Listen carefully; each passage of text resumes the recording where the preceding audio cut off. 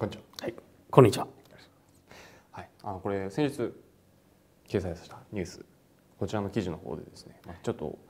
高木さんにはいろいろご活躍いただいちゃいまして、はい、あの今回もう本当役者さんみたいなちょっとお願いをしちゃったっていうところもあって本当ありがとうございました。ええとんでもないです。あの、楽しかったです。はいあの実際の本当のテレビ番組とか、はいはいあのそういう機会もありますけども、はいあのゾンビ特集とかそういうのはまずもってありませんので、そうですよね非常にいい機会をいただいて なかな。かテレビではないですもんね。はい、いやいや良かったです。でも実際のところ、まあ結構本当にこういう防災ですとか、まあ災害対策、まあこういう知識って結構お持ちでいらっしゃるということ。そうですね。あの何者なんだっていうふうに思われるかもしれないんですけど、はい一応本業としましては、ええあの企業向けに危機管理のコンサルティングをしたりですとか、まあ、災害に関する執筆監修ということをしたり、あとは個人向けの防災情報サイト、はいはいえーまあこういったことの運営を本当にしています。そうですよね。い、やいやもうなんかね、もうそんな先生にね、ちょっと小芝居お願いしちゃったのはもう本当すいませんでした。もうなんかもう。でもないです。はいあの防災対策っていうのが、まあもともと非常に硬い話題が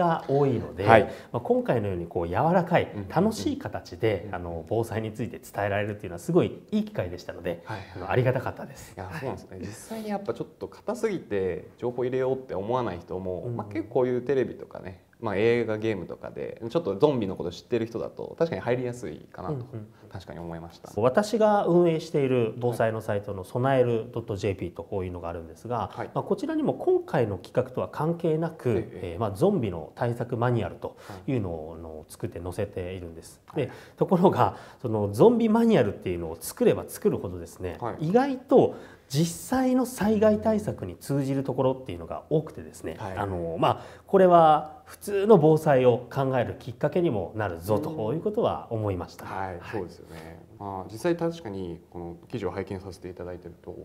大真面目に解説されていらっしゃるなと思って、結構初めは面白半分で読んでしまったんですけれど、まあ実際やっぱ読んで読み進めるにあたってだんだんと結構納得できることだったりとか、この勉強になること。